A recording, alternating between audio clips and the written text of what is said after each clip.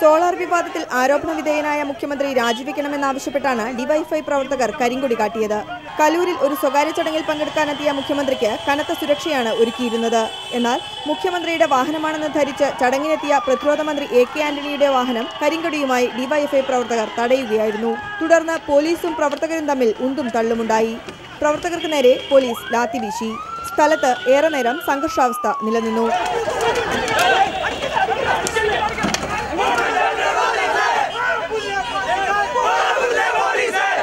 തുടർന്ന് ഡിവൈഎഫ്ഐ പ്രവർത്തകരെ police arrest ചെയ്ത് നീക്കി. പരിക്കേറ്റ ഒരു ഡിവൈഎഫ്ഐ പ്രവർത്തകനെ ആശുപത്രിയിൽ പ്രവേശിപ്പിച്ചു.